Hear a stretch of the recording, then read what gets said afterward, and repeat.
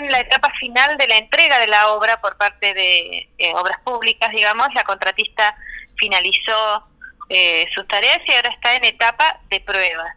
Eh, las pruebas son de forma manual, la obra consiste en una obra de toma de agua donde están las bombas a la vera del Río Grande y aproximadamente 4 kilómetros de ductos donde hay tres descargas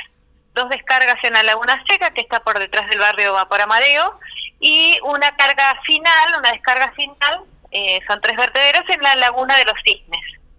Nosotros lo que estamos verificando es que después de las pruebas hidráulicas que eh, denotan que no hay pérdidas en la cañería,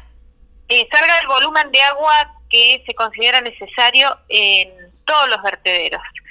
Eh, hoy por hoy esa prueba se está haciendo de forma manual porque aún todavía falta automatizar el tablero por el, por el tema de la pandemia. Ha llegado una parte solamente este año del tablero que comanda las bombas, así que estamos en esas etapas de impulsión de agua, viendo que este, las bombas se comporten como, como corresponde. Son dos bombas, una es la backup de la otra, en caso de que no funcione, y eh, en estos días está funcionando con Pleamar. Estamos preparando la obra para hacer la entrega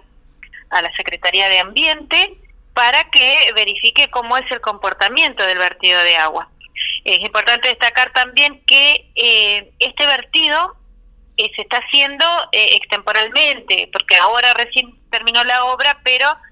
se pretende que antes de que baje el, el nivel de agua de las lagunas ya se empiece a vertir para eh, que el nivel permanezca, digamos.